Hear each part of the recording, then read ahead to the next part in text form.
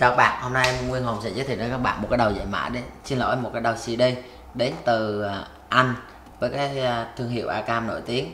Cái đầu CD này có model là CD23. Đây là cái dòng mà nó rất là cao cấp. Các bạn có thể gõ lên Google thì chúng ta sẽ biết những thông tin ở nước ngoài đánh giá rất là cao cái đầu này. Thì nó sử dụng bộ chip giải mã giống như những cái dòng của Alpha 9. Thì à, các bạn lưu ý là con này là giải mã 24 bit nha thì ở đây mình nói giải mã là giải mã cho đĩa chứ không phải là giải mã bên ngoài vào. Thì à, đọc đĩa rất là nhanh, mình đang sử dụng tất cả là đều là đĩa chép, nó đọc rất là tốt luôn. Và cái con này nó có điện áp sử dụng là 115V hàng được sản xuất và lắp ráp tại UK United Kingdom, nước Anh nha các bạn. Các bạn nhìn những cái đầu CD này thì nó rất là ít chức năng ở trên mặt tiền của nó. Tới lui, tua, stop, bao chất âm của thằng này rất là ngọt ngào, rất là tốt luôn. Sử dụng dây nguồn rời. Điện 115V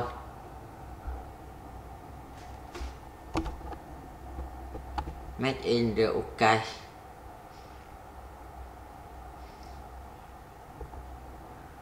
con này thì nó cũng không có phải là quá gấu như những hàng của Nhật Bản, nhưng mà nhìn rất là đẹp sai chuẩn môn 3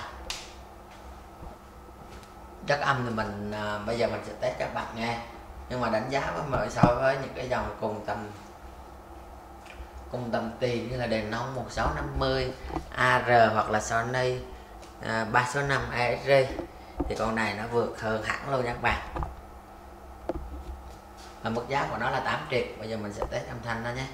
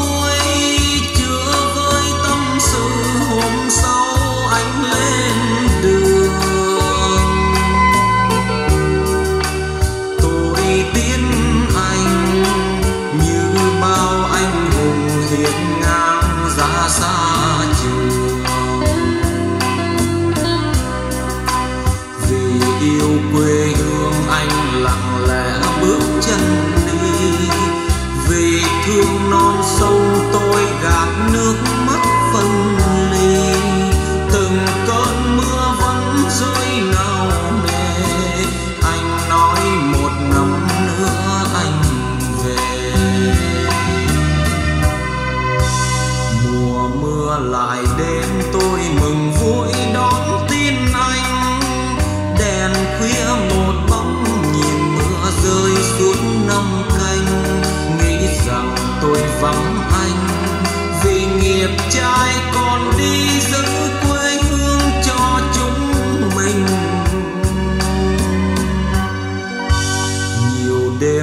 đêm sáng nghe lòng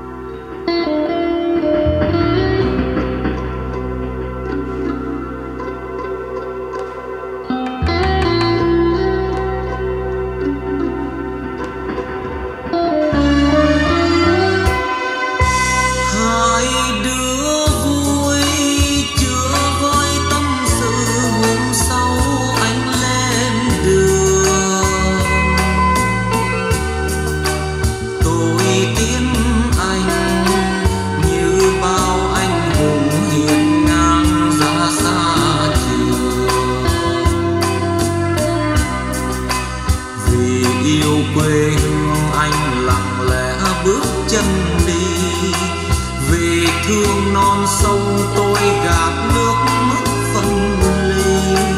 Từng cơn mưa vẫn rơi nào nề anh nói một năm nữa anh về. Mùa mưa lại đến tôi mừng vui